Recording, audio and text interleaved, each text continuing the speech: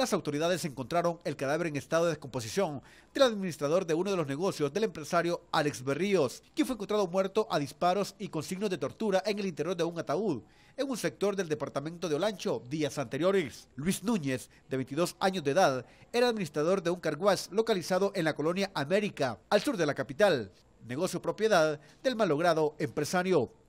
Según las autoridades, se les informó que el cuerpo de un hombre se encontraba en la segunda planta del negocio en estado de descomposición, estableciéndose que la víctima era José Luis Núñez, de 22 años de edad, quien según el médico forense,